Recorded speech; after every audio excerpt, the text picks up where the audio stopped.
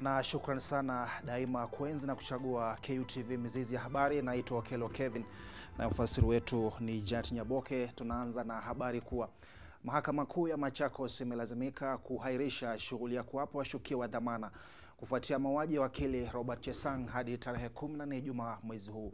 Hii ni baada ya familia ya marehemu kutaka kesi hiyo isifanyike katika mahakama hiyo. Robert Chesang marehemu alipigwa risasi nyumbani kwake Lukenya, kaunti ya Machakos tarehe 17 mwezi Februari mwaka elfu mbili kumi na tisa.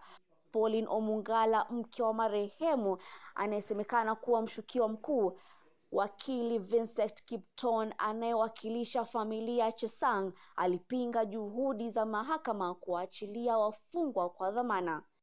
Aidha, wakili wa mshukiwa Osiemo Odero alipinga wasilisho ya wakili Vincent Kipton kuhusiana na shughuli za kupewa dhamana. Hakimu George Odunga amesema atatoa uamuzi wake siku ya Ijumaa tarehe kumi na nne mwezi Juni kuhusiana na wasilisho ya familia ya marehemu ya kesi hiyo kufanywa kwa koti nyingine na ombi la kupewa dhamana kwa washukiwa. Mariam Salim, KUTV.